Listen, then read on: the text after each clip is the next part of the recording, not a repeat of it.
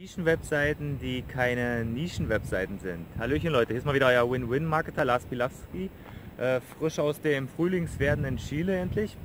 Und mir ist in den letzten Wochen aufgefallen, dass viele Nischenwebseiten erstellen wollen mit einem Thema, was zwar sehr groß auf dem Markt vertreten ist, also wo man eigentlich viel rausholen kann, aber wo man sich halt in auch einen Bereich begibt, wo es halt recht viel Konkurrenz äh, gibt und dann sollte man auch wirklich in eine Nische reinbrechen und nicht einfach mit den typischen Faktoren, die jeder macht sozusagen in den Bereichen, ähm, auf den Markt kommt. Und erstmal äh, ist da die Frage, welche Bereiche meine ich überhaupt? Und das sind ja hier diese Bereiche Flirting, Dating, äh, Gesundheit, sich gut ernähren, Versicherung zählt da auch ganz stark zu und natürlich der Bereich Business.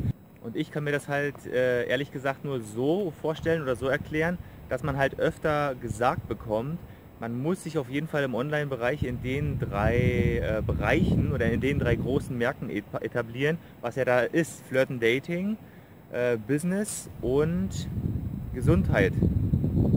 Und ähm, das ist ja auch völlig richtig, dass die drei Märkte den größten Umsatz machen im Online-Marketing-Bereich, in digitalen Produkten, in allen möglichen Bereichen. Aber wir begeben uns ja gerade bei dem Bereich Nischen-Webseiten im Bereich Nischen. Und da muss man halt in eine sehr spezielle Nische reinbrechen. Und gerade bei diesen drei großen oder vier großen, Versicherungen als viertes äh, zugezogen, ist es ja so, dass es nicht gerade leicht ist, dort eine Nische zu finden. Und äh, deswegen gebe ich dir mal folgenden Rat hier mit an die Hand. Auf der einen Seite, wenn du dich in diesen Bereich begeben willst, musst du erstens äh, viel Einsatz bringen. Also ich rede nicht unbedingt wieder von Geld, sondern aber äh, viel Kraft reinstecken, um da gegenüber der Konkurrenz anzustinken. Oder du musst dich halt in einem ganz speziellen Bereich dann äh, vorwagen, wo wirklich keiner ähm, äh, vorhanden ist. Ich habe zum Beispiel gehört, dass jemand jetzt ähm, äh, ein Flirtbereich äh, für ähm, Immigranten in Deutschland entwickelt hat. Und das ist natürlich eine super äh, Marktlücke oder eine super Möglichkeit, aus der aus dem Flüchtlingsstrudel, aus den Flüchtlingsstrom jetzt sozusagen eine Geschäftsidee zu machen, finde ich auch völlig super. Aber generell ist es halt nicht für jeden leicht, sich in den Bereichen äh, zu platzieren. Und deswegen nochmal der Schwenk sozusagen zurück wenn du kein Spezialist in diesen Gebieten bist oder keine super Idee hast, wie du eine ganz äh, spezielle Nische da aufziehen kannst, dann ist es auch keine Idee, sich da mit allen möglichen zu konkurrieren, sondern dann ist es auf jeden Fall besser, eine andere Nische zu wählen.